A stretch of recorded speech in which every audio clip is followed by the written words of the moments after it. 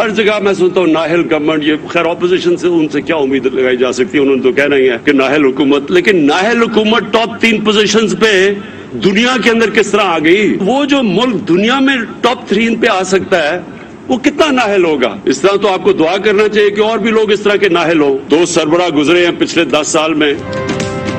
वज़ीर आज़म इमरान खान कहते हैं अपोजिशन बताए नाअहल हुकूमत दुनिया में टॉप थ्री पोजीशन पर कैसे आ गई? बोले, हेल्थ कार्ड की सहूलत दुनिया के अमीर तरीन ममालिक में दस्तियाब नहीं। कहा, बरतानिया गया तो पहली बार फलाही रियासत देखी। यूके रियासत मदीना से ज़्यादा करीब है। भावलपुर में कौमी सेहत कार्ड के इजरा की तकरीब से खिताब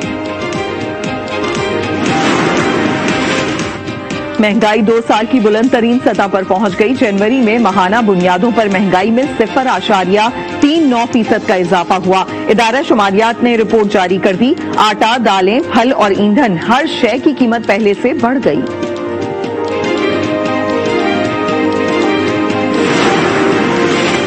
बिजली की कीमत में तीन रुपए बारह पैसे फ़ी यूनिट इजाफे की तैयारियाँ। नेपरा ने बिजली की कीमतों में फ़ी यूनिट इजाफे की दरखास्त पर समात मुकम्मल कर ली।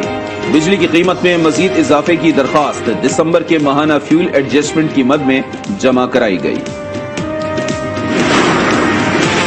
सेनेट में यूसुफ गिलानी की बात निकली तो शाह महमूद कुरैशी दूर तक चले गए। वोट खरीद कर कायदे के खिलाफ बनने और फिर इस्तीफे का ड्रामा करने का इल्ज़ाम। उहदे से चिमटा रहने की पेशगोई भी कर दी। कॉम्प्रोमाइज ओपोजिशन लीडर कहकर तंज में डूबा हुआ एक और तीर चला दिया। पीपी का शोर शराबा चेयरमैन ने सेनेट का इजलास मुलतवी कर दिया। इलेक्शन कमीशन ने बक्का खेल में अमनो अमान केस की समात का फैसला जारी कर दिया। इलेक्शन कमीशन ने वज़ीर अला के बी के, के मुआवने खसूसी बरए transport M P A Shah Mohammad को पाँच साल के लिए नाअहल कर दिया। उनके बेटे मामून रशीद भी इंतब लड़ने के लिए नाअहल करार। सिंध लोकल गवर्नमेंट एक्ट की शिक चौहत्तर और पिछहत्तर कलदम करार। सुप्रीम कोर्ट ने सिंध हुकूमत को तमाम कवानीन आर्टिकल 140 ए के मुताबिक बनाने की हिदायत कर दी। Sindh Building Control Authority Act समेत अथॉरिटीज के कवानीन भी बदलने का हुक्म। चीफ जस्टिस गुलजार अहमद ने आखिरी दिन अपने फैसले में कहा, सूबाई हुकूमत कोई बल्दियाती मनसूबा शुरू नहीं कर सकती।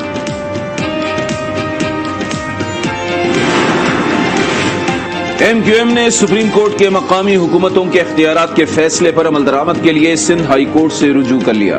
कुंवर नवीद जमील और दीगर की जानब से दायर की गई दरखास्त में कहा गया है कि अदालती हुक्म के मुताबिक मकामी हुकूमतों को बाख्तियार बनाया जाए। सिंध हुकूमत का अदालती फैसले के खिलाफ नजरसानी में जाने का इंडिया वज़ीर अला सिंध मुराद अली शाह का कहना है, फैसले पर नजरसानी के लिए अदालत जाने का हक रखते हैं। सारे इख्तियार लोकल काउंसिल को दे दिए जाएँ तो वज़ीर आज़म समेत सबको घर चले जाना चाहिए। विफाकी वज़ीर असद उमर ने सिंध लोकल गवर्नमेंट एक्ट से मुतालिक सुप्रीम कोर्ट के फैसले को पीटीआई के मौकफ की तायद करार दे दिया। बोले, सिंध हुकूमत का बनाया कानून आइन से मुतसादम और नकाइश से भरपूर है। सिंध में बा इख्तियार बल्दियाती निज़ाम के लिए जद्दोजहद जारी रखेंगे। बल्दियाती कानून के खिलाफ कराची में पाक सरजमीन पार्टी का धरना जारी। सिंध हुकूमत से आज फिर मुजाकर होंगे। मुस्तफ़ा कमाल कहते हैं, मुतालबात मंजूरी तक एहतजाज जारी रहेगा।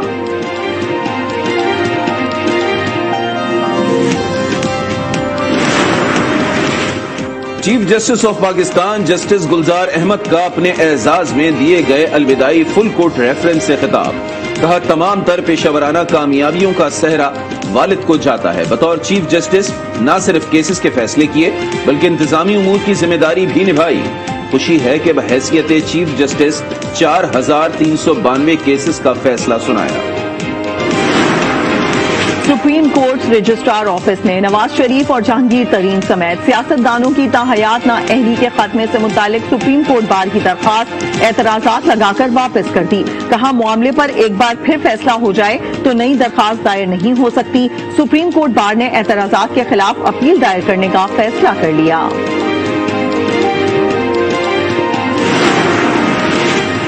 फॉरेन फंडिंग केस में नया पिंडोरा बॉक्स खुलने को है। सात से आठ वॉल्यूम आज शाम तक सामने आ जाएँगे। चीफ इलेक्शन कमिश्नर की सरबराही में तीन रुकनी बेंच ने फॉरेन फंडिंग केस की समाप्त की। दरखास्त गुजार अकबर एस बाबर, कमीशन के सामने पेश। पीटीआई के वकील अनवर मंसूर पेश हुए, लेकिन दलाइल न दिए। समात 9 फरवरी तक मुलतवी। लाहौर में ओपोजिशन लीडर हमजा शहबाज की स्पेशल सेंट्रल अदालत पेशी के मौके पर मुस्लिम लीग नून की एमपीए रुखसाना कौसर के शोहर और लीगी कारकुनान में झगड़ा हो गया। लीगी कारकुनान आपस में ही गुत्थम गुत्था हो गए। गाली गलोच और हाथापाई डीजी खान के सरकारी स्कूल में कुत्तों के हमले में जख्मी बच्चा दम तोड़ गया। सातवीं जमात का तालब इल्म, आवारा कुत्तों से बचने के लिए भागता रहा और कुत्ते उसे भंगोड़ते रहे। वाकई की सीसीटीवी फुटेज सोशल मीडिया पर वायरल। वज़ीर अला पंजाब ने पाँच रुकनी इंक्वायरी कमेटी बना दी। अब घर घर कोरोना वैक्सीनेशन लगेगी। विफाकी हुकूमत का मुल्क ये मुहिम शुरू करने का ऐलान। पचपन हज़ार टीमें हिस्सा लेंगी विफाकी वज़ीर असद उमर और वज़ीर आज़म के मामले खसूसी फैसल सुल्तान ने मिलकर तफसील बता दी। बताया अब तक 18 करोड़ अफराद कोरोना वैक्सीन लगवा चुके हैं।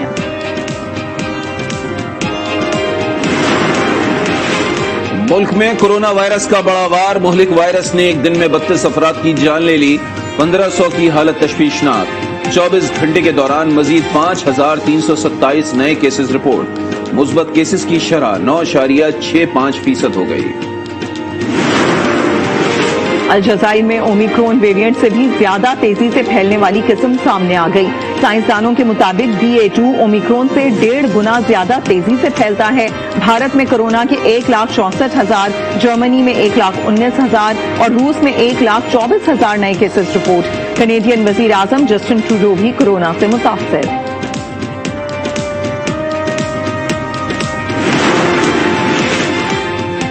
पाकिस्तान ने अमरीका के लिए नामजद सफीर मसूद खान पर भारत के इल्ज़ाम मुस्तरद कर दिए। तर्जुमान दफ्तर खारजा का कहना है, भारतीय इल्ज़ाम पाकिस्तान के खिलाफ इस इंफॉर्मेशन का हिस्सा है। मसूद खान का कसीर जहदी सिफारतकारी का चालीस साल तजुर्बा है।